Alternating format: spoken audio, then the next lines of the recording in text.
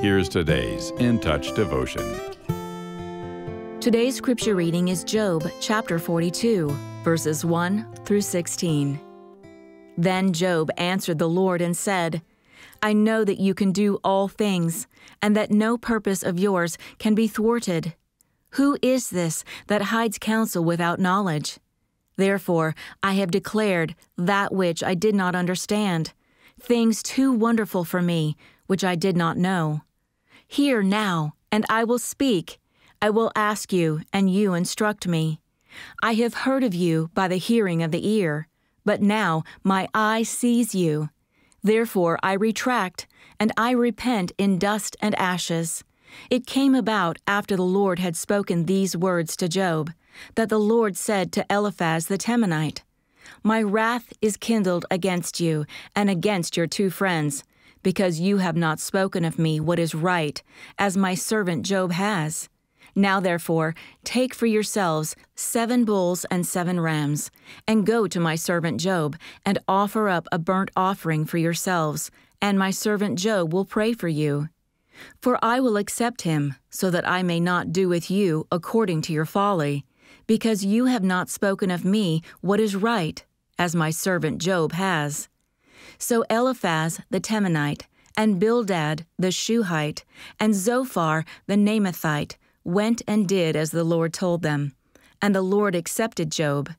The Lord restored the fortunes of Job when he prayed for his friends, and the Lord increased all that Job had twofold. Then all his brothers and all his sisters, and all who had known him before, came to him, and they ate bread with him in his house. And they consoled him and comforted him for all the adversities that the Lord had brought on him. And each one gave him one piece of money, and each a ring of gold. The Lord blessed the latter days of Job more than his beginning, and he had fourteen thousand sheep, and six thousand camels, and one thousand yoke of oxen, and one thousand female donkeys. He had seven sons and three daughters. He named the first Jemima, and the second Keziah, and the third Keren Happuch. In all the land, no women were found so fair as Job's daughters, and their father gave them inheritance among their brothers. After this, Job lived 140 years and saw his sons and his grandsons, four generations. At the end of the book of Job, God grants his servant peace and more than restores his fortunes.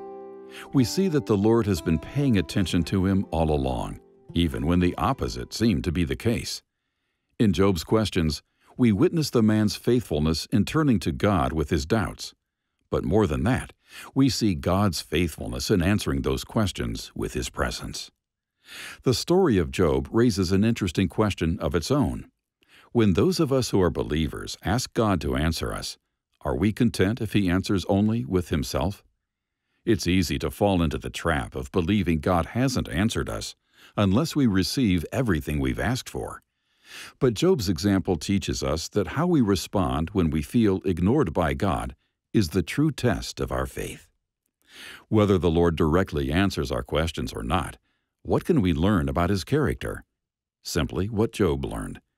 I know that you can do all things, and that no plan is impossible for you. A truth reasserted by the angel Gabriel in Luke chapter 1 verse 37. God is never absent, never overwhelmed or powerless. Though we may lose sight of this truth, we must remember exactly where He is when we suffer. He is with us.